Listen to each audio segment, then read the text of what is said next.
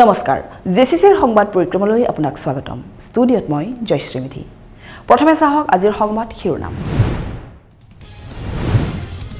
বিছ ছেপ্টেম্বৰত জাগিৰোডত জাতীয় চেতনা দিৱসৰ আয়োজন। দুগৰাকী বিশিষ্ট মহিলালৈ আগবঢ়োৱা হ'ব শ্বহীদ কনকলতা বৰুৱা বঁটা।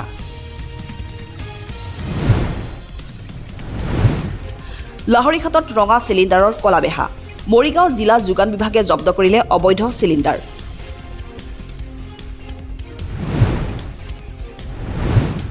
সোণাপুৰৰ কচুতলিত প্ৰশাসনৰ উচ্ছেদ অভিযান।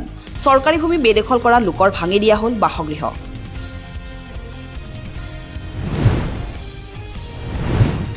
জাগিৰোডত বিজেপিৰ সদস্যতা অভিযানত মন্ত্ৰী পীযুষ হাজৰিকা। ট্ৰেডিং প্ৰবঞ্চনা সন্দৰ্ভত সৰব মন্ত্ৰীগৰাকী।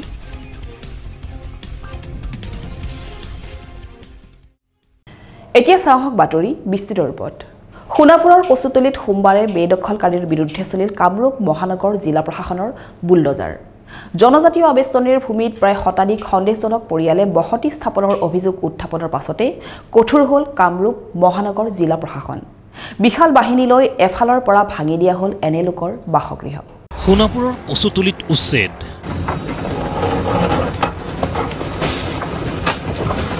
বেদখলত এতিয়া আমাৰ ঘৰটো ভাঙি দিছে এতিয়া আমি ক'ত থাকিম? আমাক থাকিবলৈ কাৰণে অলপ জাগা মিলাই দিয়ক। আৰু আমি মাটিটো বেদখল কৰা নাই আমি মাটিটো কিনি লৈছোঁ বেলেগৰ পৰা। আমি খলিলৰ পৰা মাটিটো কিনি লৈছোঁ খলিলে গৈছে এইবিলাক মাটি হয় আপোনালোকে টেনশ্যন নকৰিব। আপোনালোকে আমি যেতিয়া মাটিটো লৈছোঁ তেতিয়া কৈছে যে এই মাটিটো আপোনালোকে লওক আপোনালোকৰ একো চিন্তা কৰিব নালাগে এইটো মাটিটো ভাল আছে। তেতিয়া আমি মাটিটো লৈছোঁ এতিয়া আমাৰ বহুত দিন পিছত ভাঙি দিছে আজি দহ বাৰ পিছত ইয়াতে দহ বছৰমান হৈছে ইয়াতে থাকিছোঁ আগত নদীৰ কাষত আছিলোঁ। ইয়াতে দহ বছৰমান হ'ল মাটি লৈছোঁ। এতিয়া মাটিখিনি আমাৰ ভাঙি দিছে মামাই এইটো তদন্ত কৰিব লাগে। যে এইকেইটা মানুহে মানে চৰকাৰী মাটি বিক্ৰী কৰিছে সেইকেইটা মানুহৰ কাৰণে মানে তদন্ত কৰিব লাগে ভালকৈ। আনহাতে লক্ষণীয়ভাৱে চৰকাৰী আঁচনিৰ ঘৰো আবণ্টন লাভ কৰিছিল এইসকল লোকে। ইয়াৰ পাছতেই প্ৰশাসনে জাননী জাৰি কৰি এইসকল বেদখলীকৃত লোকক চিনাক্ত কৰি সোমবাৰে চলালে বিশাল উচ্ছেদ অভিযান। এইটো আমাৰ বহুত দিনীয়া দীৰ্ঘদিনীয়া এটা দাবী আছিলে। দীৰ্ঘদিনীয়া দাবীটো আছিলে জনজাতি আৱেষ্টনী অঞ্চলত যিবিলাক বেদখল চৰকাৰী ভূমিত যিবিলাক বেদখল চলি আছে আৰু কিছুমান দালাল চক্ৰান্তৰ ফলত ইহঁতে বেদখল কৰি আছে। আমি নকওঁ যে সিহঁতে নিজাকৈ গৈ বেদখল কৰিছে। কিছুমান দালাল চক্ৰান্তত বেদখল চলি আছে আৰু এই বেদখলসমূহ মুক্ত কৰাৰ কাৰণে সদৌ অসম ট্ৰাইবেল সংঘ আৰু চিচিটোৱা তৰফৰ পৰা বহুত আবেদন কৰা হৈছিলে। দীৰ্ঘদিনীয়া দাবী আছিলে আৰু এই দাবীৰ ফলত অসম চৰকাৰে সন্মান জনাই আজি উচ্চাৰ অভিযান চলাইছে। হয় আমি এটা কথা দুখ অনুভৱ কৰিছোঁ। যিবিলাক চৰকাৰী ভূমিত জনজাতি আৱেষ্টনী অঞ্চলত যিবিলাক চৰকাৰী ভূমিত বেদখল চলি আছে আৰু এই বেদখলত চৰকাৰী গৃহ পাইছে তাতকৈ আৰু দুৰ্ভাগ্য আৰু তাতকৈ মানে ভয়ানক কি হ'ব হ'ব পাৰে? ইয়াত পঞ্চায়তৰ গাফিলতি আছে পঞ্চায়তৰ পৰা তাৰপিছত যিখিনি যিখিনি এজন এটা এটা পৰিয়ালে চৰকাৰী গৃহ পাবৰ কাৰণে যিখিনি দায়িত্ব বহন কৰে পঞ্চায়তৰ পৰা আৰম্ভ কৰি যিখিনি দায়িত্ব বহন কৰে এই দায়িত্ব বহন কৰা ব্যক্তিসকলে এইটো গাফিলতি কৰিছে। আৰু যাৰ ফলত আজি চৰকাৰী গৃহ পাইছে চৰকাৰী গৃহ পাই চৰকাৰী এটা নিৰ্ম ঘৰ নিৰ্মাণ কৰি আৰু চৰকাৰী এটা তাক মানে উচ্ছেদ কৰিব লগা হৈছে ইয়াতকৈ আৰু দুৰ্ভাগ্য আৰু ইয়াতকৈ ভয়ানক কি কথা থাকিব পাৰে? উল্লেখ্য যে ডিমৰীয়াৰ এটি দালাল চক্ৰই এই চৰকাৰী ভূমিসমূহ ভুৱা ম্যাদী দেখুৱাই বিক্ৰী কৰাৰো অভিযোগ একাংশ ৰাইজৰ। সেয়েহে তেওঁলোকে লাভ কৰিছিল বিভিন্ন চৰকাৰী আঁচনিও। কিন্তু ইয়াতে প্ৰথমতে যেতিয়া আমি সেইটো মাটিবিলাক ক্ৰয় কৰিছিলোঁ হয়তো আমিতো ডাইৰেক্টলি আহিতো মাটিখিনি ল'ব পৰা নাই। কাৰোবাৰ না কাৰোবাৰ পৰা লৈছোঁ মাটিখিনি। হয়তো আজি ক'ব লাগিব তৃতীয় পক্ষ মাটিখিনি বিক্ৰী কৰিছে। কৰাৰ বিনিময়ত হয়তো মাটিখিনি আমি আজি ক্ৰয় হেৰি কৰিছোঁ লৈছোঁ। কিন্তু আজি তেনেকুৱা হয়তো আমি ভবা নাছিলোঁ যে মাটিখিনি চৰকাৰী আছে। কিন্তু আমাক নথি পত্ৰত বা আমাক যেনেকৈ দাগ নম্বৰ বা পাট্টা নম্বৰ দিছিলে সেই পাট্টা নম্বৰটো অনুযায়ী আমিতো দাগ নম্বৰ অনুযায়ী দেখা পাওঁ মিটি মাটি সেই হিচাপত যে মানে কি- যি- সেই- তেনেকুৱা পৰ্যায়ত আমি মাটিখিনি ল'লোঁ ইয়াকে লৈ সমগ্ৰ অঞ্চলজুৰি এক চেপা উত্তেজনাই বিৰাজ কৰে যদিও সম্পূৰ্ণ শান্তিপূৰ্ণভাৱে উচ্ছেদ চলায় কামৰূপ মহানগৰ জিলা প্ৰশাসনে। আজি একচুৱেলি আমি কচুতলি পথাৰ ৰেভিনিউ ভিলেজত আগতে যেনেকুৱা ধৰণে প্ৰস্তুতি চলাইছিলোঁ আজি তাৰেই এক্সিকিউশ্যন হিচাপত ৰাতিপুৱা মোটামুটি চাৰে নমান বজাৰ পৰা আমি ইয়াতে উচ্ছেদ অভিযান চলাইছোঁ। ট'টেল আমাৰ প্লেনিং মতে তেৰটা ছেক্টৰ বনাইছিলোঁ। তেৰটা ছেক্টৰৰ গোটেইখিনিতে বৰ্তমান কাম চলি আছে। আৰু বৰ্তমান আমি আজি দিনৰ দিনৰ ভাগতে সূৰ্যাস্তৰ আগত সকলোখিনি শেষ কৰিম বুলি আমি প্ৰচেষ্টা হাতত লৈছোঁ। আৰু কচুতলি পথাৰৰ যিখিনি চৰকাৰী মাটি আছে আৰু যিসকল ব্যক্তিৰ তাত যোগ্যতা নাই সেইসকল ব্যক্তিকহে ইয়াত উচ্ছেদ চলোৱা হৈছে। কিমান গোটেই ছেক্টৰৰ লগ লগালে টেণ্টেটিভ ফিগাৰ এটা কৈছোঁ। মোটামুটি শতাধিক মানে পৰিয়াল ইয়াত ই হ'ব উচ্ছেদ হ'ব।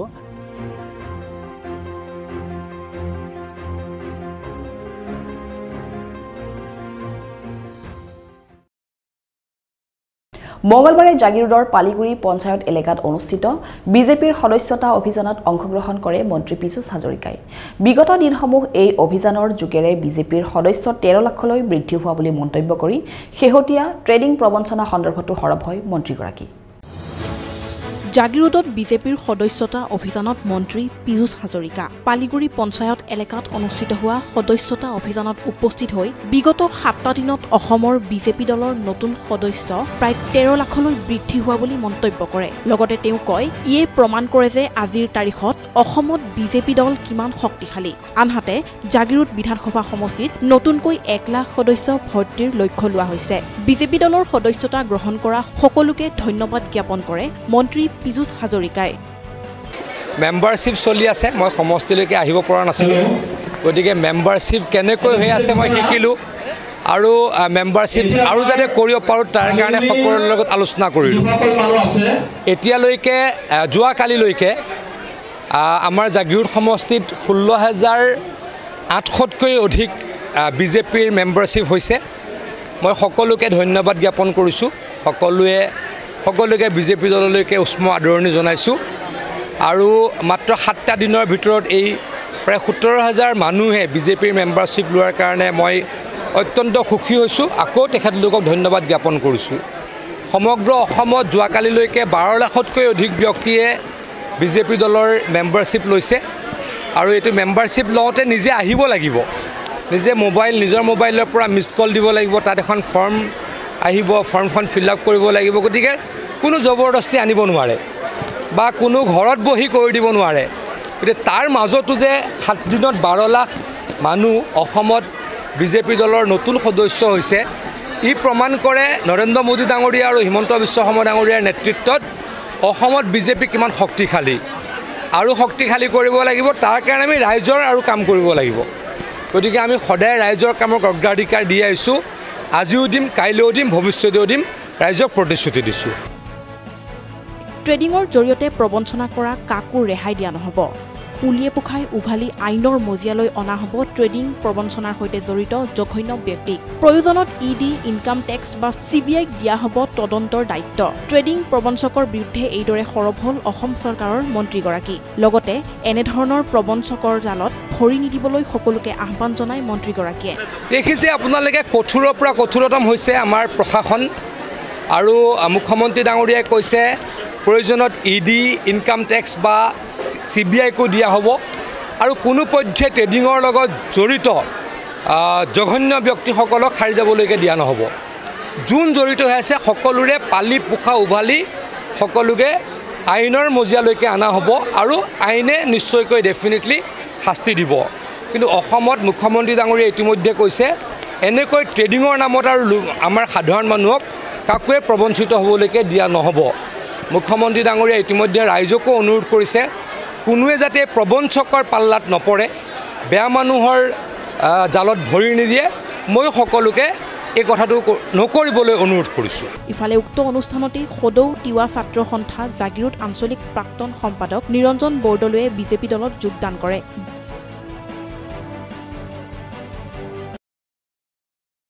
ডিমৰীয়াৰ ঐতিহ্যমণ্ডিত শৈক্ষিক প্ৰতিষ্ঠান ডিমৰীয়া মহাবিদ্যালয়ে লাভ কৰিলে স্বায়ত্তশাসিত মহাবিদ্যালয়ৰ মৰ্যাদা। আগন্তুক পাঁচটি বৰ্ষৰ বাবে বিশ্ববিদ্যালয় অনুদান আয়োগে আগবঢ়োৱা এই স্বীকৃতিৰ বাবে সমগ্ৰ ডিমৰীয়াত আনন্দৰ বন্যা।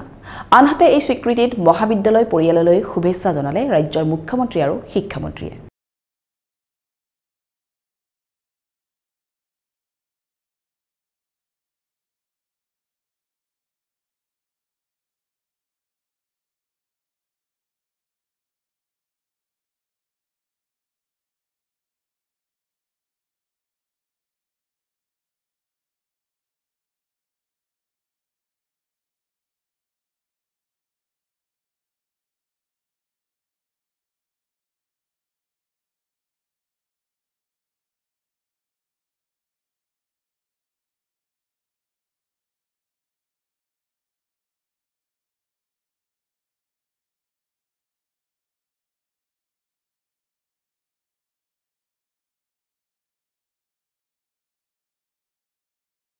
নিশ্চয় গৌৰৱ অনুভৱ কৰিছোঁ। নিজৰ অনুষ্ঠান এটা যেতিয়া আগুৱাই যায় ধপত ধপে তেতিয়া নিশ্চয় ভাল লাগে চবৰে ভাল লাগিছে। আৰু মই ভাবোঁ আমাৰ ডাইনামিক চিফ মিনিষ্টাৰ আৰু ডাইনামিক এডুকেশ্যন মিনিষ্টাৰৰ নেতৃত্বত সু দিহা পৰামৰ্শত আমি তেখেতসকলক লগ কৰি অনুৰোধ কৰাৰ ধৰণে আমি কামবিলাক কৰি গৈ আছোঁ আমাৰ গোটেই শিক্ষকসকল স্থানীয় ৰাইজ। আমি আগ্ৰহেৰে অপেক্ষা কৰিছোঁ চি এম ছাৰ ইয়াত আমাৰ আহিম বুলি কৈছে এডুকেশ্যন মিনিষ্টাৰ ছাৰো ইয়াত আহিম বুলি কৈছে। আৰু তেওঁলোকৰ আগমনে আমাৰ অঞ্চলটোত আৰু নতুন বাতৰি দিব আৰু আমাৰ অনুষ্ঠানখন অটনমিৰ পৰা নেক্সট ফেজত ইউনিভাৰ্চিটিলৈ আমি দুই তিনি বছৰতে হয়তো ৰূপান্তৰিত কৰিব পাৰিম। ইতিমধ্যে ৰাজ্যৰ মুখ্যমন্ত্ৰী আৰু শিক্ষামন্ত্ৰীয়েও মহাবিদ্যালয়খনৰ এই সাফল্যত জনালে। শুভেচ্ছা। সমান্তৰালভাৱে প্ৰতিষ্ঠাকালৰে পৰা মহাবিদ্যালয়ৰ সৈতে জড়িত প্ৰতিগৰাকী ব্যক্তিক বৰ্তমানৰ ভাৰপ্ৰাপ্ত অধ্যক্ষ মানৱজ্যোতি বৰকাকতিয়ে জনালে। ধন্যবাদ আৰু কৃতজ্ঞতা। আমি বিশ্ববিদ্যালয় অনুদান আয়োগৰ পৰা এখন চিঠি পালোঁ যে আমাৰ কলেজখনক অট'নমাছ কলেজলৈ উন্নতিকৰণ কৰিছে। ইয়াৰ বাবে আমি অতি সুখী। আমাৰ অঞ্চলৰ ৰাইজে আমাক ইয়াৰ ওপৰত যথেষ্ট পৰিমাণে হেঁচা প্ৰয়োগ কৰিছিল যে আমাৰ কলেজখন এখন ইউনিভাৰ্চিটিলৈ প্ৰমোট কৰিব লাগে। তেখেতসকলে এই চকীত মই বহাৰ লগে লগে আহি পেলাই অনুৰোধ কৰিছিল যে মই কলেজখনক আগুৱাই নিব লাগে। সেই মৰ্মে আমি মাননীয় শিক্ষামন্ত্ৰী ডাঙৰীয়াক লগ ধৰিছিলোঁ। তেখেতে কৈছিল যে ইউনিভাৰ্চিটি কৰাৰ আগতে আপোনালোকে অট'নমিছ অট'নমাছ কলেজৰ কাৰণে চেষ্টা কৰক। আমি তেখেতৰ কথামতে আগবাঢ়িছিলোঁ। বৰ্তমান অসমৰ ডাইনামিক মুখ্যমন্ত্ৰী শ্ৰীযুত ডক্টৰ হেমন্ত বিশ্ব শৰ্মা হিমন্ত বিশ্ব শৰ্মা ডাঙৰীয়াই আমাক আশ্বাস দিছিল যে আমাৰ কলেজলৈ এদিন আহিব। আমি ভাবিছোঁ যে খুব সোনকালে তেখেত আহিব। আহি পেলাই আমি অলপমান আমাৰ ওচৰত থকা চৰকাৰী ভূমি কলেজৰ নামৰ কাৰণে বিচাৰিছিলোঁ। যিহেতু আমি অট'নমাছ কলেজ হিচাপে যদি এখন গ্ৰ' কৰোঁ এখন ইউনিভাৰ্চিটি পৰ্যায়লৈ যদি আমি নিব খোজোঁ তেতিয়াহ'লে আমাক বহুত মাটিৰ দৰকাৰ হ'ব। আৰু সেইবাবে আমি এখন চিঠি দিছিলোঁ। আমি কিছুদিন আগতে লগ ধৰোঁতে তেখেতে কৈছিল যে তেখেতে এই কামটো কৰি দিব। আমি ভাবিছোঁ যে অতি সোনকালে আহি তেখেতে আমাক চাগে আমাৰ মাজত আহি এই বিষয়ে ঘোষণা এটা কৰিবহি। ইতিমধ্যে বিশ্ববিদ্যালয় অনুদান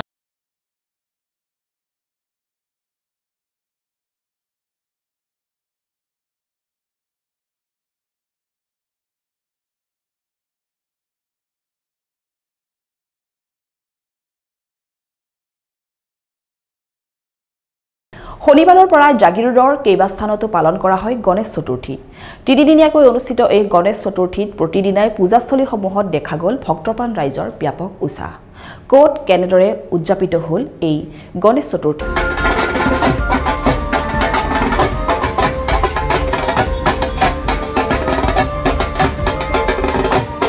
প্ৰতি বছৰৰ দৰে এই বছৰ আমি দুহেজাৰ চৌব্বিছ চনত জাগিৰ চাৰিআলি গণেশ পূজা কমিটিয়ে গণেশ চতুৰ্থী উপলক্ষে পূজাৰ আয়োজন কৰিছোঁ। ইয়াতে বিভিন্ন প্ৰান্তৰ পৰা ভক্তপ্ৰাণ ৰাইজ আহি পেলাই ধীপ প্ৰদীপ নবদ্যৰে আ- পূজা ভাগ আগবঢ়াইছে। আমি ইয়াতে বহুতো সন্তুষ্ট পাইছোঁ। গণেশ চতুৰ্থী উপলক্ষে পূজা ভাগ গণেশ বাবাৰ ওচৰত প্ৰাৰ্থনা জনাইছোঁ যে লগতে অসমবাসী লগতে ভাৰতবাসী সকলোকে যেন শান্তি বিৰাজ কৰে। এইখিনি আমি ভগৱানৰ ওচৰত প্ৰাৰ্থনা জনাইছোঁ। জাগিৰোড ভক্তপ্ৰাণ ৰাইজে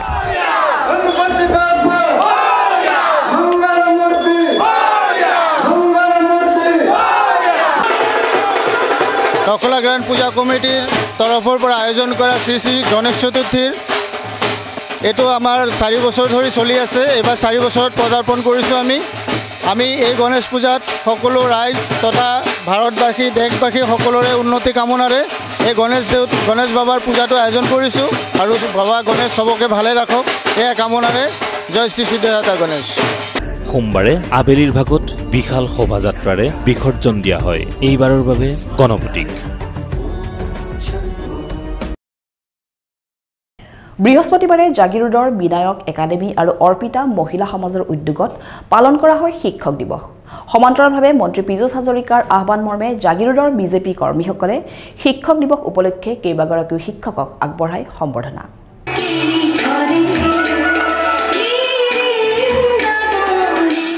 সমগ্ৰ দেশৰ সমান্তৰালভাৱে জাগিৰোডৰো বিভিন্ন প্ৰান্তত পালন কৰা হয় শিক্ষক দিৱস। শিক্ষক দিৱস উপলক্ষে বৃহস্পতিবাৰে জাগিৰোডৰ বিনায়ক একাডেমীত ছাত্ৰ ছাত্ৰীসকলে বিভিন্ন অনুষ্ঠান অনুষ্ঠিত কৰি শিক্ষাগুৰুসকলক সম্বৰ্ধনা জনোৱাৰ লগতে ন পুৰণি শিক্ষাৰ্থীসকলে এক সাংস্কৃতিক অনুষ্ঠান ৰূপায়িত কৰে।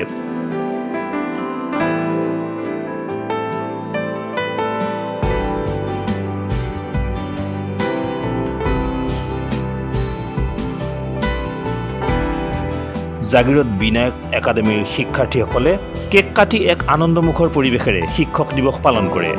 একাডেমীৰ অধ্যক্ষ সুশান্ত চন্দই শিক্ষাৰ্থীসকলক উদ্দেশ্যি বক্তব্য আগবঢ়োৱাৰ লগতে একাডেমীৰ শিক্ষক শিক্ষয়িত্ৰীসকলেও ছাত্ৰ ছাত্ৰীসকলক উদ্দেশ্যি শিক্ষক দিৱস সন্দৰ্ভত বক্তব্য আগবঢ়ায়। আজি তেষষ্ঠিতম শিক্ষক দিৱস জাগিৰোড বিনায়ক একাডেমীত পালন কৰা হৈছে। ছাত্ৰ ছাত্ৰীসকলে ৰাতিপুৱা দহটাৰ পৰা তিনিটালৈকে বিভিন্ন কাৰ্যসূচী আয়োজন কৰিছে। আৰু আমি চব শিক্ষকসকলে আজি প্ৰেজেণ্ট আছোঁ। ছাত্ৰ ছাত্ৰীসকলে বিভিন্ন প্ৰগ্ৰাম কৰিছে আৰু খুব আকৰ্ষণীয় প্ৰগ্ৰাম কৰিছে। ভাল লাগিছে। এই শিক্ষক দিৱসতে আমি বিভিন্ন ধৰণৰ কথাও আলোচনা কৰিছোঁ। ডক্টৰ সৰ্বপল্লী ৰাধাকৃষ্ণনৰ বিষয়ে আমি আলোচনা কৰিছোঁ। তেখেত এজন মহান শিক্ষাবিদ আছিল দাৰ্শনিক আছিল ৰাষ্ট্ৰপতি আছিল। তেখেতৰ জীৱন চৰ্চা আজি আমি ইয়াত আলোচনা কৰিছোঁ। তাৰোপৰি শিক্ষকৰ যিটো ডিউটি শিক্ষক ছাত্ৰসকলৰ যিটো ৰিলেশ্যন সেই সম্পৰ্কেও আজি আমি ইয়াত আলোচনা কৰিছোঁ। দিনজোৰাকৈ আয়োজিত এই কাৰ্যসূচীত সকলো ছাত্ৰ ছাত্ৰীয়েও অংশগ্ৰহণ কৰে। আনহাতে জাগিৰোডৰ অৰ্পিতা মহিলা স্বেচ্ছাসেৱী সংস্থাইও তেওঁলোকৰ কাৰ্যালয়ত পালন কৰে শিক্ষক দিৱস।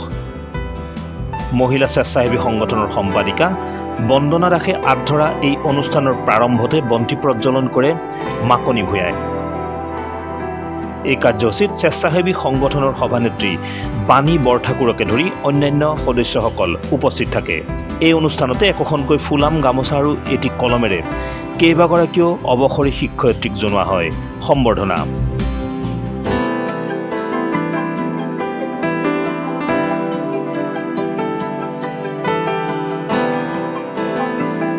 শিক্ষক দিৱসৰ এই কাৰ্যসূচীত গুৰুবন্দনা পৰিৱেশন কৰে শান্তামণি শইকীয়াৰ লগতে অৰ্পিতা মহিলা স্বেচ্ছাসেৱী সংস্থাৰ সদস্যসকলে।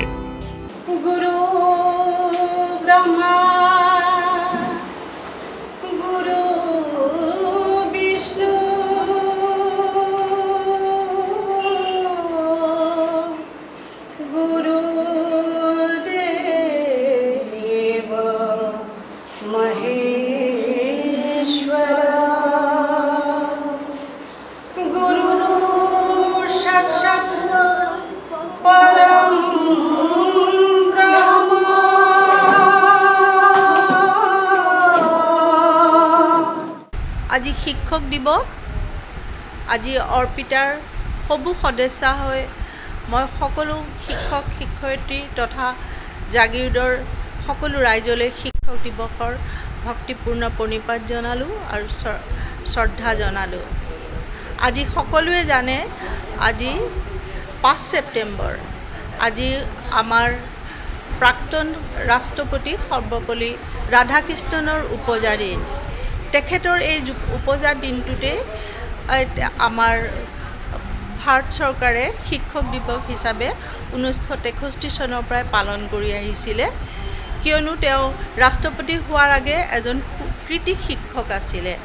আৰু অকল কৃতি শিক্ষকেই নহয় এজন দাৰ্শনিক বিদ্যান পুৰুষ তদুপৰি তেখেতে এজন সুশিক্ষাবিদ আছিলে যাৰ দৰ্শনেৰে সকলো আপ্লুত হৈ তেওঁ শিক্ষা জগতত এটা বেলেগ ধাৰা বোৱাই দিছিলে। সেই উপলক্ষে তেখেতৰ উপজা দিনটোতেই শিক্ষক দিৱস হিচাপে পালন কৰিবলৈ আমাৰ চৰকাৰে মনস্থ কৰিছিলে। আজি সকলো জেগাতে সকলো শিক্ষা অনুষ্ঠানতে বহুতো অনুষ্ঠানতে শিক্ষক দিৱস পালন কৰা হৈছে। গতিকে আমিও একেবাৰে অনুষ্ঠুপীয়া হৈ কৈ আমি শিক্ষক দিৱসটো পালন কৰিছোঁ। আপোনালোকে সকলোৱে জানে শিক্ষকৰ ভূমিকা আমাৰ পৃথিৱীত বিশ্বত কিদৰে আছে? আমাৰ সনাতন ধৰ্ম যেতিয়া শ্লোকতে লিখা আছিলে গুৰু ব্ৰহ্মা গুৰু বিষ্ণু গুৰু দেৱ মহেশ্বৰ গুৰু শাশ্বত পৰম ধৰ ব্ৰহ্মা তস্মৈ চ গুৰুৱে নম। আমাৰ এই গুৰুজনেই আমাৰ গোটেই বিশ্বত যিখিনি ধাৰা বোৱাইছে তেখেতলোকৰ অনুপ্ৰেৰণাতে আমাৰ নতুন প্ৰজন্ম সকলোৱে এটা উচ্চ পৰ্যায়ৰ দিশত গতি কৰিছে। তথাপিও বৰ্তমান যুৱ সমাজ একেবাৰে উচ্ছৃংখল হৈ পৰিছে আৰু তেখেতলোকক এটা সৎ পথত আগুৱাই নিবলৈ বৰ্তমান শিক্ষকসকলৰ ভূমিকা অতি গুৰুত্বপূৰ্ণ। এটি শিশু পালন লালন পালন কৰাত পিতৃ মাতৃৰ ভূমিকা যেনেকৈ অতি গুৰুত্বপূৰ্ণ ঠিক সেইদৰে শিক্ষকসকলৰ ভূমিকা অতি গুৰুত্বপূৰ্ণ। আমি বিচাৰোঁ তেওঁলোকে এটা গুৰুত্ব ভাৰ গুৰুত্বপূৰ্ণ এটা ভূমিকা যেন আমাৰ সমাজত গ্ৰহণ কৰে। আমাৰ মাজতো কেইবাগৰাকী শিক্ষয়িত্ৰী আছে। আমি আজিৰ দিনটোতে তেখেতলোকক আমি এখনি গামোচাৰে আমাৰ শ্ৰদ্ধাৰ বস্তু গামোচাৰে তেখেতলোকক আমি অকণমান সন্মান যাচিছোঁ আৰু তেখেতলোকৰ উজ্জ্বল ভৱিষ্যত কামনা কৰিলোঁ। তদুপৰি সুস্বাস্থ্য কামনা কৰিলোঁ।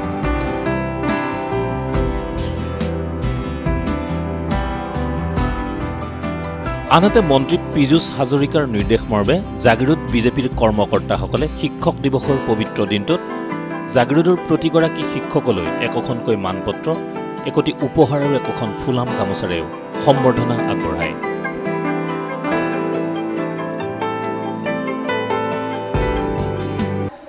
প্ৰত্যেক বছৰৰ দৰে এই বছৰো আমাৰ মন্ত্ৰী তথা জাগিৰ সমষ্টি বিধায়ক শ্ৰীযুত পি হাজৰিকা ডাঙৰীয়াৰ ফালৰ পৰা আমাৰ দলীয় কৰ্মকৰ্তাসকলক লগত লৈ আমাৰ জাগিৰ সমষ্টিৰ অন্তৰ্গত যিমান স্কুল আৰু আমাৰ মহাবিদ্যালয় আছে সকলোতে আমাৰ যি শিক্ষক শিক্ষয়িত্ৰীসকল আছে তেওঁলোকক আমি আমাৰ মন্ত্ৰী মহোদয়ৰ ফালৰ পৰা এখন এখন অভিনন্দন পত্ৰ এখন গামোচা আৰু এখন এটা কলমেৰে আমি তেখেতসকলক সম্বৰ্ধনা জনাইছোঁ। জাগিৰস্থিত শ্ৰীনিবাস একাডেমীৰ অষ্টম প্ৰতিষ্ঠা দিৱস আৰু নৱাগত আদৰণি সভা বুধবাৰে বিস্তৃত কাৰ্যসূচীৰে অনুষ্ঠিত কৰা হয়। শিক্ষানুষ্ঠানখনৰ শিক্ষাৰ্থীসকলে শোভাযাত্ৰা আৰু গীত মাতেৰে জীপাল কৰা অনুষ্ঠানত মুখ্য অতিথি হিচাপে অংশগ্ৰহণ কৰে বিশিষ্ট লেখক জ্যোতিষ কুমাৰ শৰ্মাই।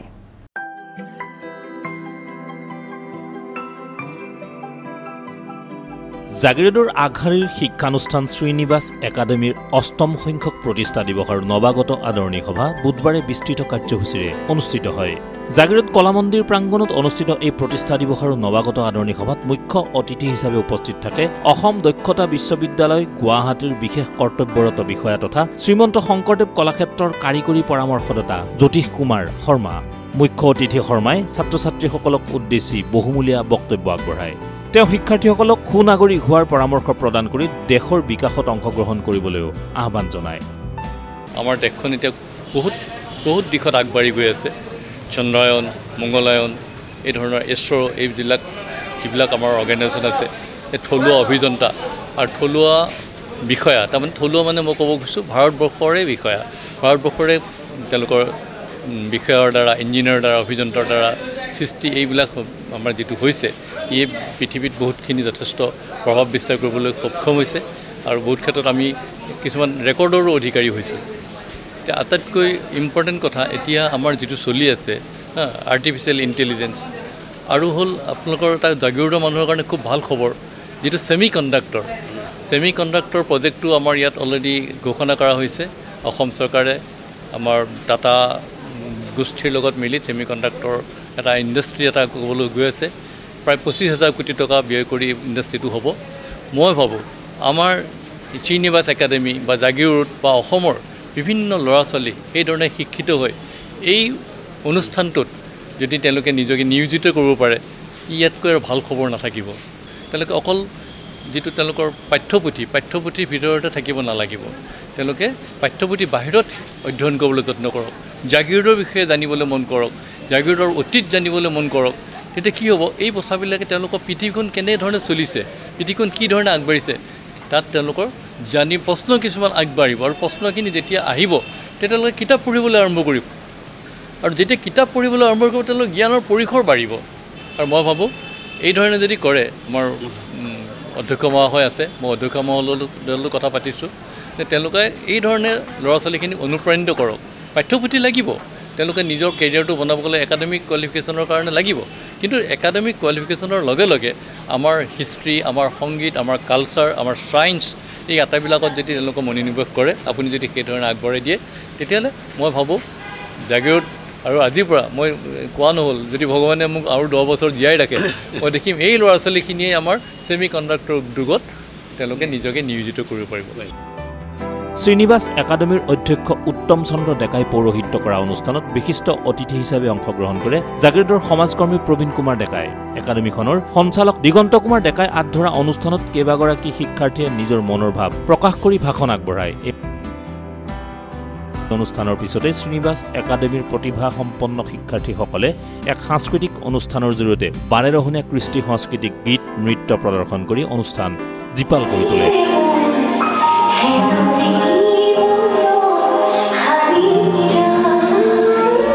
ইয়াৰ আগে শ্ৰীনিবাস একাডেমীৰ ছাত্ৰ ছাত্ৰীয়ে শিক্ষক শিক্ষয়িত্ৰী সমন্বিতে সকলোৰে সহযোগিতাত একাডেমীৰ প্ৰাংগণৰ পৰা জাগিৰোড চহৰৰ মাজেৰে এক সজাগতা সমদলো বাহিৰ কৰে।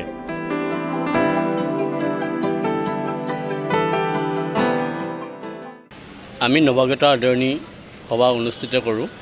অকল গান বা নাচ এইবিলাকেই নহয় আমাৰ নৱাগত আদৰণিৰ উদ্দেশ্য আছে এটা নতুন উদ্দেশ্য লৈ আমাৰ ছাত্ৰ ছাত্ৰীসকল যেন আগবাঢ়ি যায়। অকল তেওঁলোকৰ আমাৰ পাঠ্যপুথিৰ জ্ঞানেৰে যথেষ্ট নহয়। প্ৰত্যেক ছাত্ৰই বা প্ৰত্যেকজন ব্যক্তিয়ে জন্মতে কিছু প্ৰতিভা লৈ আহিছে। সেই সুপ্ত প্ৰতিভাক আমি বিকাশ কৰি সমাজত তেওঁক প্ৰতিষ্ঠা কৰিবলৈ আমি এটা প্ৰয়াস কৰিছোঁ যে ছাত্ৰ ছাত্ৰী কৃতকাৰ্যতাই মোক জীয়াই ৰাখিব। যেনেকৈ ভূপেন হাজৰিকাই কৈছিল মোৰ গীতে মোক জীয়াই ৰাখিছে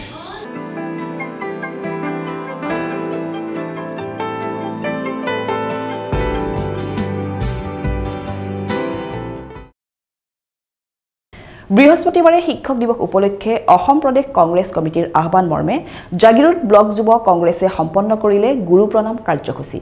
এই কাৰ্যসূচীত কংগ্ৰেছ নেতাকৰ্মীসকলে কেইবাগৰাকীও শিক্ষাগুৰুক আগবঢ়ালে শ্ৰদ্ধাভৰা সম্বৰ্ধনা। জাগিৰোডত কংগ্ৰেছৰ গুৰু প্ৰণাম কাৰ্যসূচী শিক্ষক দিৱসৰ অংশস্বৰূপে এই গুৰু প্ৰণাম কাৰ্যসূচীৰ জৰিয়তে জাগিৰোড ব্লক কংগ্ৰেছৰ নেতা কৰ্মীসকলে সেৱা জনালে জাগিৰোডৰ বহুকেইগৰাকী শিক্ষাগুৰুক। উল্লেখ্য যে অসম প্ৰদেশ কংগ্ৰেছ কমিটিৰ সভাপতি ভূপেন বৰাৰ নিৰ্দেশত আৰু জাগিৰোড ব্লক যুৱ কংগ্ৰেছৰ নেতৃত্বত বৃহস্পতিবাৰে শিক্ষক দিৱস উপলক্ষে জাগিৰোডত গ্ৰহণ কৰা হয় এই কাৰ্যসূচীৰ। কংগ্ৰেছ নেতা সূৰ্যকুমাৰ দাসৰ নেতৃত্বত জাগিৰোড ব্লক যুৱ কংগ্ৰেছৰ বিষয়ববীয়াসকলে কেইবাগৰাকীও বিশিষ্ট শিক্ষাগুৰুক অসমীয়া ফুলাম গামোচাৰে শ্ৰদ্ধা জ্ঞাপন কৰে।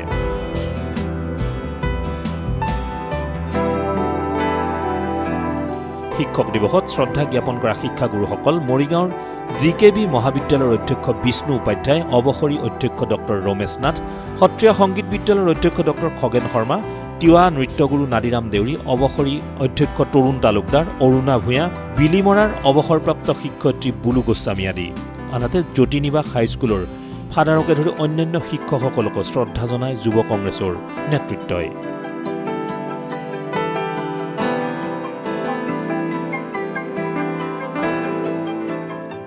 আজি এই গুৰু প্ৰণামৰ যি আমাৰ কংগ্ৰেছ দলে যি গুৰু প্ৰণাম কাৰ্য প্ৰণাম কাৰ্যসূচী আমাৰ প্ৰদেশ কংগ্ৰেছৰ সভাপতি ভূপেন্দ্ৰ বৰাৰ নেতৃত্বত আমাৰ স্থানীয় সাংসদ প্ৰদ্যুৎ বৰদলৈ ডাঙৰীয়াৰ নেতৃত্বত যি আজি এই কাৰ্যসূচী হৈছে এই এই অসমৰ চুকে কোণে এই কাৰ্যসূচী হৈছে আৰু আমাৰ জাগিৰোড বিধানসভা সমষ্টিটো আমাৰ জাগিৰোড বিধানসভা যুৱ কংগ্ৰেছৰ সভা কাৰ্যকৰী সভাপতি মিজু ডেকা আমাৰ সম্পাদক স্বপন দাস তপেশ্বৰ কোঁৱৰ পম্পী কোঁৱৰ জিন্তু বৰদলৈকে আদি কৰি নেতৃত্ব চন্দন বৰদলৈ আছে আমাৰ তেওঁলোকৰ নেতৃত্বত আজি ঘৰে ঘৰে আমাৰ শিক্ষাগুৰুসকলক গৈ আমি গুৰু প্ৰণাম কৰিবলৈ যত্ন কৰোঁ। যিমানখিনি পাৰোঁ আমি তেওঁলোকৰ ঘৰে ঘৰে গৈ আমি তেওঁলোকৰ পৰা আশীৰ্বাদ গ্ৰহণ কৰোঁ। আমি গুৰু প্ৰণাম কাৰ্যসূচী সম্পাদন কৰোঁ। বিষ্ণুপ্ৰসাদ উপাধ্যায় ছাৰ সত্ৰীয়া সংগীত মহাবিদ্যালয়ৰ অধ্যক্ষ খগেন শৰ্মা ছাৰ জাগিৰোড মহাবিদ্যালয়ৰ প্ৰাক্তন অধ্যক্ষ ৰমেশ নাথ ছাৰ আমাৰ সাংস্কৃতিক গুৰু আমাৰ নাদিয়াম দেউৰী ছাৰকে আদি কৰি আমাৰ তৰুণ তালুকদাৰ ছাৰ প্ৰাক্তন অধ্যক্ষ লগতে তেওঁ আমাৰ অসমৰ এজন স্বনামধন্য নাট্য জগতৰ গুৰু। আমি সদল বলে গৈ আৰু তেখেতলোকৰ আমি আশীৰ্বাদ গ্ৰহণ কৰোঁ আৰু নিশ্চিতভাৱে এই গুৰুসকলৰ যি সমস্যা আজি দুখেৰে প্ৰকাশ কৰিছোঁ যে আজি এই শিক্ষক দিৱসৰ দিনাখনেই আজি আমাৰ আছাম যিটো কলেজ টিচাৰ্ছ এছ'চিয়েশ্যনে আমাৰ শিক্ষাগুৰুসকলে কিন্তু কলেজত আমাৰ জাগিৰোড মহাবিদ্যালয় কওক বা আমাৰ বিভিন্ন মহাবিদ্যালয়বিলাকত আজি তেওঁলোকে কিন্তু ধৰ্ণাত বহিব লগা হৈছে। এই চৰকাৰখনক আজিৰ এই পবিত্ৰ দিনত গুৰুসকলক সন্মান কৰিবৰ কাৰণে তেওঁলোকক আমি আহ্বান জনাইছোঁ যে গুৰুসকলৰ সমস্যা তেওঁলোকে সমাধান কৰক।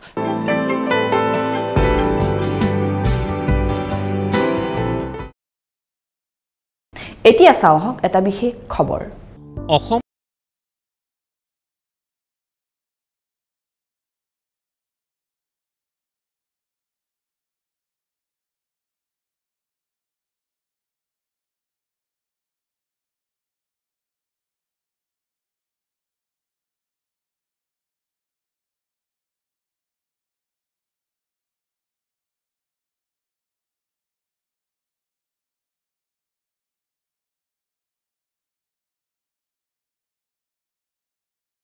কথা। বিছ ছেপ্টেম্বৰ দুহেজাৰ চৌবিছ বৰ্ষ শুক্ৰবাৰে সদৌ অসম লেখিকা সমাৰোহ সমিতিৰ উদ্যোগত আৰু জাগিৰোড শাখা লেখিকা সমাৰোহ সমিতিৰ সহযোগত কেন্দ্ৰীয়ভাৱে জাতীয় চেতনা দিৱস উদযাপন কৰা হ'ব দুহেজাৰ দুই বৰ্ষৰ পৰা প্ৰতি বছৰে।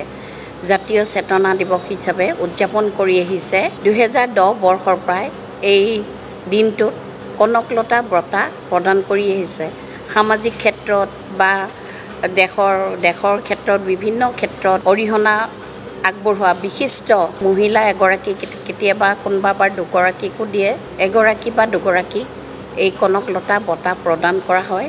এই কনকলতা বঁটাত থাকে এখন প্ৰশস্তি পত্ৰ চেলেং চাদৰ আৰু লগতে গামোচা জাপি আৰু দহ হাজাৰ টকাৰ এটা টোপোলা। এইবুলি যিহেতু এইটো জাগিৰোড শাখাক আমাৰ এই দায়িত্বটো দিছে এইবাৰ বঁটাটো দুগৰাকীক প্ৰদান কৰা সদৌ অসমে সিদ্ধান্ত লৈছে কাৰ্বি আংলং জিলাৰ পৰা এগৰাকী লাষ্টি মিথি বুলি।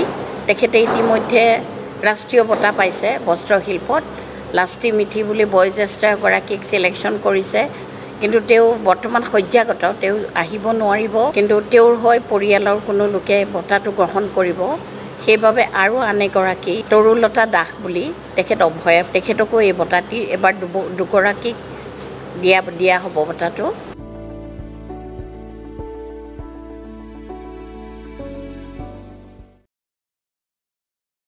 এতিয়া চাওক সংক্ষিপ্ত ৰূপত কেইটামান বা বাতৰি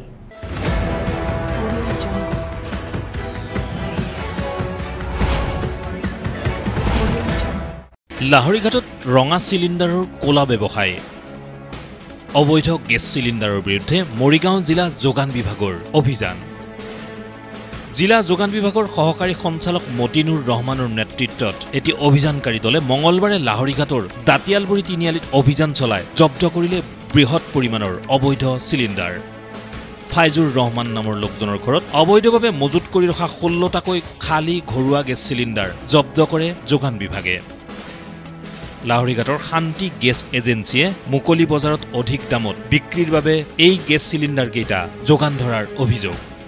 পূৰ্বৰে পৰা শান্তি গেছ এজেঞ্চিৰ বিৰুদ্ধে ক'লা বজাৰত চিলিণ্ডাৰ বিক্ৰী কৰাৰো অভিযোগ উত্থাপন হৈ আহিছে। ইয়াত আমি ষোল্লটা খালী চিলিণ্ডাৰ মজুত পালোঁ সেইখিনি আমি জব্দ কৰিলোঁ এইখিনি। অবৈধভাৱে মজুত ৰখা হৈছিলে। দাঁতিয়ালবাৰী তিনিআলিত থকা ফাইজুৰ ৰহমান নামৰ লোকজনৰ ঘৰত পাইছোঁ। এইখিনি বেছিভাগ শান্তি গেছ এজেঞ্চিৰে আছে। দুটামান এইচ চি পি এইচ পিৰো আছে। শান্তি গেছ এই আমি আৰম্ভ কৰিছোঁ আমি অভিযোগ পাইছোঁ আমি যথেষ্ট অভিযোগ পাইছোঁ এই অঞ্চলত তেওঁলোকে চি এছ চিৰ নামত মানে কি একচুৱেলি চি এছ চি খুলিলে যে গেছ দিব পাৰে এইটো কথা নহয় তেওঁলোক প্ৰশাসনৰ অনুমতি লাগিব ল'ব লাগিব চি এছ চি খুলিলেও যদি গেছৰ ব্যৱসায় কৰিব খোজে তেওঁলোকে প্ৰশাসনৰ অনুমতি ল'বলৈ কম্পালচৰি তেওঁলোকে এজেঞ্চিবিলাকে মানে হয় জড়িত আছে আমি অতি কঠোৰ ব্যৱস্থা ল'ম এতিয়া অনুসন্ধান আমি আৰম্ভ কৰিছোঁ আমি গেছ এজেঞ্চিৰ তেওঁলোকে মূল দুই দায়ী হ'ল আপোনাৰ গেছ এজেঞ্চিবোৰে গেছ এজেঞ্চিৰ বিৰুদ্ধে যথেষ্ট কঠোৰ হ'ম আপোনালোকে দেখিবলৈ পাব অহা দিনবিলাকত আমি গেছ এজেঞ্চিৰ বিৰুদ্ধে আমি যথেষ্ট আমি কঠোৰ হ'ম।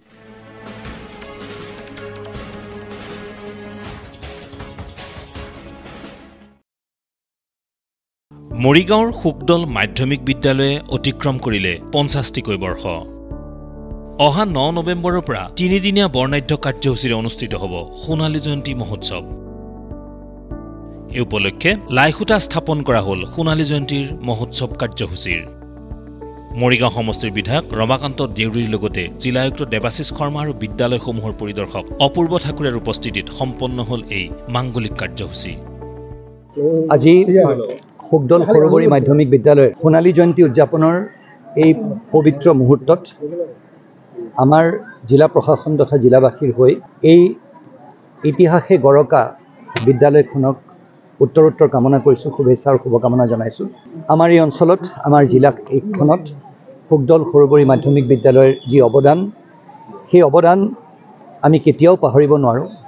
আৰু এই সমাজখন গঢ়াৰ ক্ষেত্ৰত তথা আমাৰ জিলাখনৰ সৰ্বতো প্ৰকাৰে সমাজখন গঢ়াৰ ক্ষেত্ৰত এই বিদ্যালয়খনে এটা খুব গুৰুত্বপূৰ্ণ ভূমিকা আগবঢ়াইছে। তাৰ বাবে যিসকল ব্যক্তি প্ৰচেষ্টাত এই বিদ্যালয়খন স্থাপন কৰা হৈছিলে আজি বহুতো লোক আমাৰ মাজত নাই। আজি তেওঁলোকক আমি স্মৰণ কৰিছোঁ আৰু নমন কৰিছোঁ। আৰু যিসকল ব্যক্তিৰ তত্বাৱধানত যিখন সমাজৰ তত্বাৱধানত এই বিদ্যাৰ মন্দিৰভাগ চলি আছে তেওঁলোককো ধন্যবাদ জনাইছোঁ। অনুষ্ঠানৰ সৈতে সংগতি ৰাখি অনুষ্ঠিত হোৱা অস্থায়ী কাৰ্যালয় উদ্বোধনী সভাত মৰিগাঁও জিলাখনত একাংশ দুষ্কৃতিকাৰী বিষয়াই শিক্ষা বিভাগৰ কাম কাজত দুৰ্নীতি সংঘটিত কৰি থকাৰ ক্ষেত্ৰত যথোচিত ব্যৱস্থা গ্ৰহণৰ কথা উল্লেখ কৰাৰ লগতে প্ৰয়োজনত তেওঁলোকৰ বিৰুদ্ধে বিধিগত ব্যৱস্থা গ্ৰহণ কৰা হ'ব বুলি জানিবলৈ দিলে মৰিগাঁও জিলায়ুক্ত দেৱাশিষ শৰ্মাই। সত্য কথাটো ক'বই লাগিব। এতিয়া কিছুমান স্কুলত কি হয় পোৱাই পায়ে থাকে আৰু নোপোৱাই নেপায়। তাত ভুল ক'ত? আমাৰ প্ৰশাসনৰ ভুল। আজি ক'ৰবাত হয়তো আমি যি যি ধৰণে তদাৰক কৰিব লাগিছিলে আমি তদাৰক কৰিব পৰা নাই। আজি সোণালী জয়ন্তী উদযাপন কৰিবলৈ ওলাইছে স্কুলখনে। বহুত আগতেই তেওঁলোকে এই টিংবোৰ ফাটি গৈছে। তেওঁলোকৰ য'ত ল'ৰা ছোৱালীয়ে ভাত খায় সেই তাত বৰষুণ পৰে বুলি শুনিছোঁ। যদি সেইখিনি আমি ঠিক কৰি দিব পৰা নাই আজি এনে কিছুমান শিক্ষা বিভাগত ব্যক্তি আছে। তেওঁলোকৰ যোনটো যিসকলে কনষ্ট্ৰাকশ্যনৰ কাম কৰে। আমি দেখা পাইছোঁ যে মৰিগাঁও জিলাত এটা এনে এটা চক্ৰান্ত আছে যিসকলে প্ৰশাসনক বা সেই প্ৰশাসন প্ৰণালীৰ ওপৰত তেওঁলোকে বৰ বিশ্বাস নকৰে আৰু তেওঁলোকে নিজাববীয়াকৈ এটা মাফিয়া ৰাজ এটা চলাই আছে। বুজিছেনে? আমি আৰম্ভ কৰিছোঁ এজনক ট্ৰান্সফাৰ কৰি। চৰকাৰে এনেকুৱা ধৰণৰ ব্যক্তিক কেতিয়াও এটা মৰমৰ চকুৰেতো দূৰৰে কথা অত্যন্ত কঠোৰ হ'ম আমি। এজনক ট্ৰান্সফাৰ কৰা হৈছে আৰু মই সকিয়নি দিছোঁ যে যদি এনেধৰণৰ চলি থাকে তেতিয়াহ'লে বিধিগতভাৱে আৰু আমি ব্যৱস্থা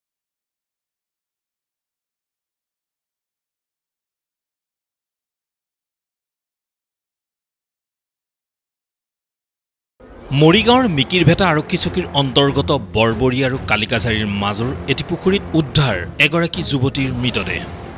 মৃতদেহটো প্ৰথমতে স্থানীয় ৰাইজে প্ৰত্যক্ষ কৰি আৰক্ষীক খবৰ দিয়াত ঘটনাস্থলীত উপস্থিত হৈ আৰক্ষীয়ে উলংগ অৱস্থাত উদ্ধাৰ কৰে যুৱতীগৰাকীৰ মৃতদেহ। পৰৱৰ্তী পৰ্যায়ত যুৱতীগৰাকী ভোৰবন্ধাৰ কটহগুৰিৰ কুঞ্জ দলৈ বুলি চিনাক্ত কৰা হয়। দেওবাৰে পুৱা নমান বজাৰ পৰাই নিৰুদ্দিষ্ট হৈ আছিল যুৱতীগৰাকী। আনহাতে পৰিয়ালৰ লোকে জানিব দিয়া অনুসৰি এক বিশেষ ৰোগত আক্ৰান্ত যুৱতীগৰাকী। চাৰে ছটামানত ঘৰতে বহি আছোঁ। ইয়াৰ পৰা মানুহ এজনকে মোক খবৰ দিছে যে পুখুৰীতে মানুহ এগৰাকী পৰি আছে। তাৰপৰা আহি দেখোঁ যে মানে উলংগ হিচাপে ইয়াত পৰি আছে। এতিয়া যেতিয়া মানে বামত উঠাওঁতে ধৰিব পৰা গৈছে মহিলা। হে কোনে কি কৰিছে সেইটো নাজানো কিন্তু এতিয়া পুলিচ প্ৰশাসন অহাৰ পিছত আমি নিজে গাঁৱলৈ নি উঠাই থৈ দিছোঁ। এইটো কোনোবাই আনি দুৰ্বৃত্তই মাৰি পেলাই থৈ গৈছে যেন লাগে। নিজে আহি কাৰণ উলংগ হৈ নিজে নাহে। এইটো কোনোবা দুৰ্বৃত্তই আহি মাৰি পেলাই থৈ গৈছে। কি কাপোৰ কানি একো পোৱা নাই একো নাই। একো পোৱা নাই? একো নাই কাপোৰ কানি নাই আমি বেলেগৰ পৰা আনিহে এতিয়া কাপোৰ দি থৈছোঁ। কিন্তু যুৱতীগৰাকী উলংগ অৱস্থাত পুখুৰীত উদ্ধাৰ হোৱাক লৈ সমগ্ৰ অঞ্চলজুৰি এতিয়া চাঞ্চল্যই বিৰাজ কৰিছে। এইটো মানে গম পাইছোঁ মানে মোক খবৰ দিছে। মই সেইমতে আহিছোঁ। পুখুৰীত মানে ডেড বডি এটা ওলাইছে সেই বুলি গম পাইছোঁ। তাৰপিছত আহি পাইছোঁ তেওঁ- তাৰপিছত তেওঁ পুলিচ প্ৰশাসন আহিলে খবৰ দিয়া হ'ল। তেওঁলোক আহি পেলাই তাৰপিছতে চালে। চাই পেলাই উঠালে ডেড বডিটো তেতিয়া মহিলা বুলি গম পাইছোঁ আৰু। কিন্তু কাপোৰ কানি একো নাই সম্পূৰ্ণ উলংগ হৈ আছে তেওঁ। সেইটো কাৰণে অকণ সন্দেহ এটা হৈ আছে আৰু। মানে কিবা বেলেগ প্ৰকাৰে মাৰিছে নে কি মাৰিছে কিন্তু আমাৰ এই অঞ্চলৰ নহয়। তেখেত ইতিমধ্যে পৰিষদত সংঘটিত দুৰ্নীতি অনিয়মৰ বিৰুদ্ধে পুনৰ সৰব আৰ টি আই কৰ্মী বদন শৰ্মা। জিলা পৰিষদখনত কিছুদিন পূৰ্বে আৰ টি আই তথ্যৰ জৰিয়তে উন্মোচিত হোৱা প্ৰায় ছয়ত্ৰিছ লাখ টকাৰ দুৰ্নীতিৰ লগত জড়িত একাংশ বিষয়া কৰ্মচাৰীৰ বিৰুদ্ধে মৰিগাঁৱৰ জিলা আয়ুক্তই এক তদন্তৰ নিৰ্দেশ দিছিল। এই তদন্তৰ প্ৰতিবেদন প্ৰকাশৰ পাছতেই একাংশক বদলি কৰিলে যদিও এতিয়াও একাংশ বিষয়াৰ বিৰুদ্ধে ব্যৱস্থা গ্ৰহণ নকৰাত এনেদৰে প্ৰতিক্ৰিয়া প্ৰকাশ কৰিলে আৰ টি আই কৰ্মী বদন শৰ্মাই। দুহেজাৰ তেইছ বৰ্ষত মৰিগাঁও এটা দুৰ্নীতি সংঘটিত সংঘটিত হৈছিলে। প্ৰায় ছয়ত্ৰিছ লাখ টকা।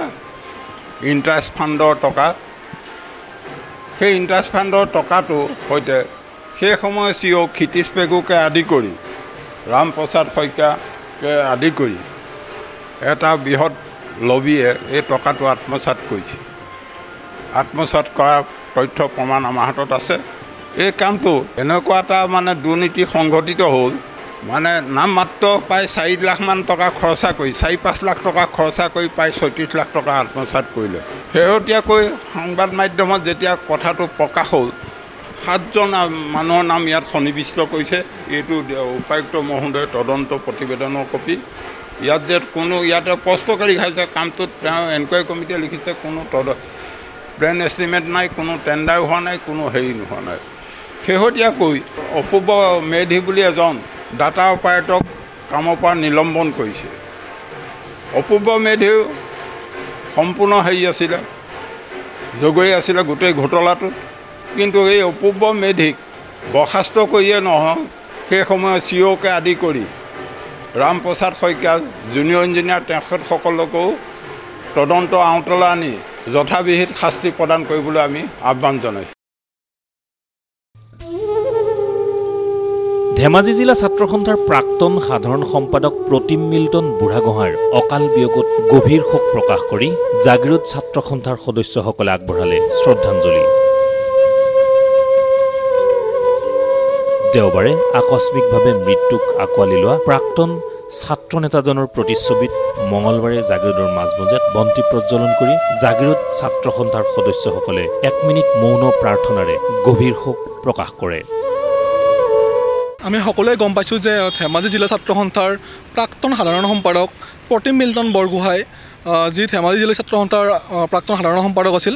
আৰু তেখেতৰ যোৱা পৰহি আকস্মিকভাৱে মৃত্যু ঘটিল আৰু সেইবাবে আমি আজি জাগিৰোড আঞ্চলিক ছাত্ৰ সন্থাৰ সদস্যসকলে তেওঁৰ আত্মাৰ চিৰশান্তিৰ বাবে আমি এক বন্তি প্ৰজ্বলন কাৰ্যসূচী উদযাপন কৰোঁ। আৰু তেখেতৰ পৰিয়াল তথা তেখেতৰ শুভাকাংক্ষীসকললৈ আমি আমাৰ গভ গভীৰ শোকবেদনা আমি তেখেতৰ পৰিয়াললৈ পঠাইছোঁ আৰু জাগিৰোড অঞ্চল ছাত্ৰ সন্থাই তেখেতৰ আত্মা শান্তিৰ বাবে এক মিনিট মৌন প্ৰাৰ্থনা কৰিছোঁ আৰু তেখেতৰ আত্ম আত্মা শান্তিৰ বাবে আমি এই আজি এই অনুষ্ঠানটো পাতিছোঁ আৰু তেখেতৰ পৰিয়াললৈ আমি গভীৰ শ্ৰদ্ধাঞ্জলি জ্ঞাপন কৰিছোঁ।